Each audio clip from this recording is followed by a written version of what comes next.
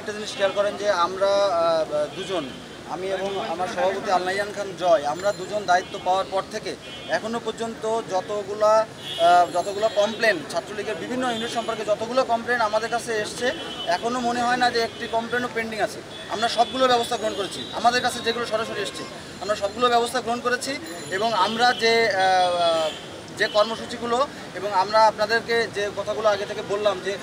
ছাত্রলীগের নাম নষ্ট হচ্ছে, এরকম যেসব কার্যক্রমগুলো বিভিন্ন ইউনিটে বিভিন্ন জায়গায় হচ্ছে, সেই ব্যাপারগুলো আমরা অরিজিনালে আপনারা যারা সাংবাদিক আছেন আপনারা কিন্তু জানেন, আপনাদের সাথে আমরা অলরেডি কথা বলেছি, আপনাদের কাছ থেকে তথ্য সংগ্রহ করছি এবং আই- আইন শৃঙ্খলা রক্ষাকারী বাহিনীদের কাছেও বলেছি এবং স্থানীয় আওয়ামী লীগ নেতাদের সাথে আমরা ইতিমধ্যে কথা বলেছি। সবার কাছ থেকে আমরা তথ্য সংগ্রহের মাধ্যমে যারা যারা বিশেষ উদ্দেশ্য নিয়ে ছাত্রলীগের মধ্যে